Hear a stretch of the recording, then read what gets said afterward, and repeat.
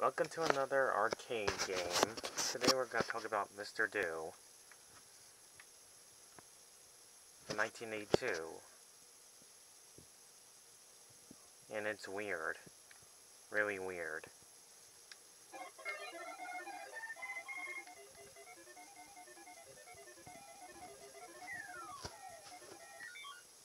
A few seconds in, and this game already reminds me of Dig Dug. And you obviously play a clown who looks like in his pajamas. Has just red, white, and blue, blue color. And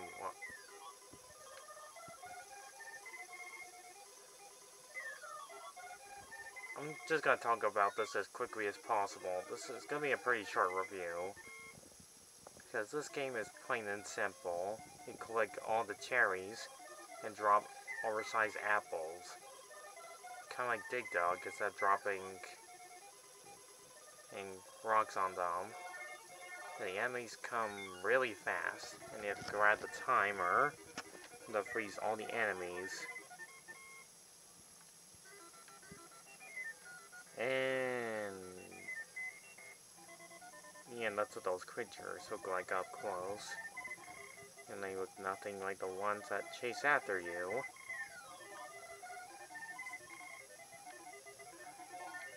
And you have to get the high score, and yeah, that's pretty much it.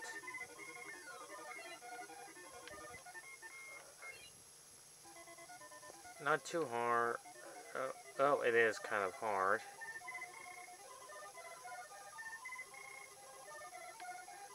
At the bottom side, you can see how many lives you got, and how many scenes it has, aka levels.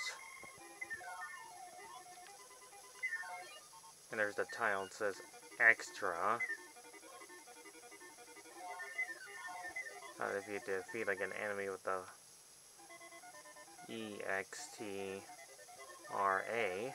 you get the word extra. Like a bonus stage, I hope. Eh, anyways. Each of you do this as quickly as possible before the enemies get ya. Or, or your character will die in a, will be animation. So yes, this is pretty much the entirety of the game. Every background always changes different colors. This is obviously just like Dig Dug, except the dirt keep changing multiple colors.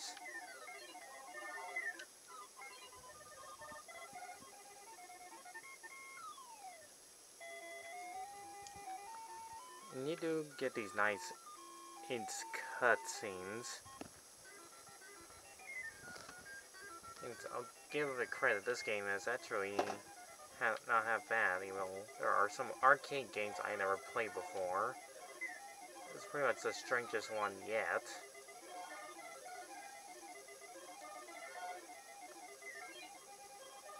I know I have to keep saying this, but Dig Dugs might be a little better than this weird here game that existed from the 80s.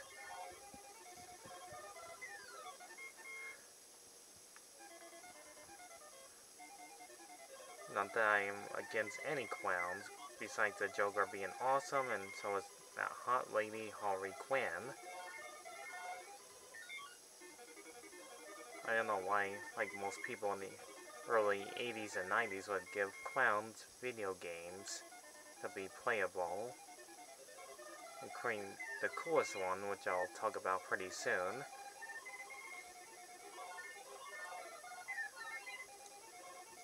Mention there's actually another game to this one, but slightly different. And Mr. Do did have a sequel.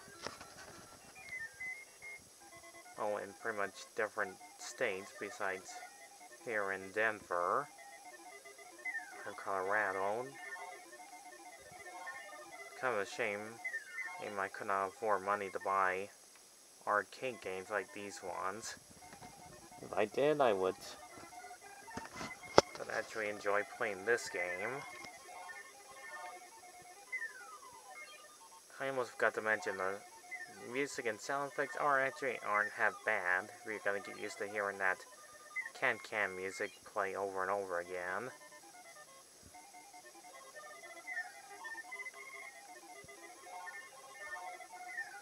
And that's pretty much it. This is the entirety of the game. This is all you do. See what I did there? I just said the word. Yeah, because Mr. Okay, you know what? Forgive me for that one pun I just said.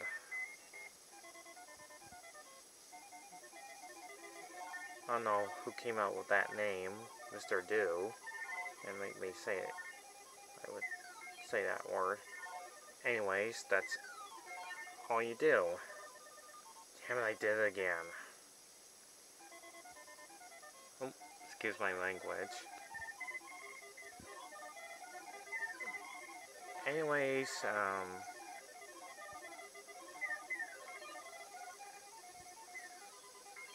that's pretty much it. This is all you have to play through in this game.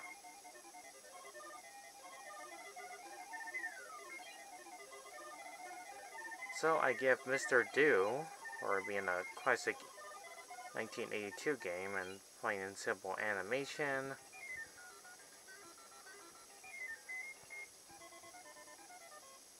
A 7 out of 10. If you like clowns, if most of you are like huge fans of clowns, then Mr. Do will be your perfect favor of playing games like this.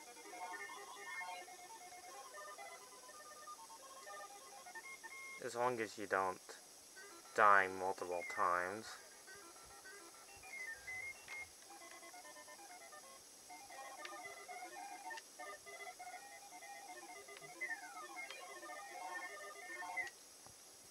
Anyways, that's pretty much it. That's the whole game. There's no plot story or just playing a clown that's trying to escape all these monsters at once. Him on the menu. Anyways, leave a like and subscribe. If, if you probably see me talk about another classic arcade game in the future, which will not be too hard because they're all over the internet. I'm actually talk about another interesting arcade game now. Will give me a bit of likes and views and subscribers and more comments. Anyways, enough of this. It's already been going on for like already 8 whole minutes and I haven't stopped the video yet, so catch you guys around.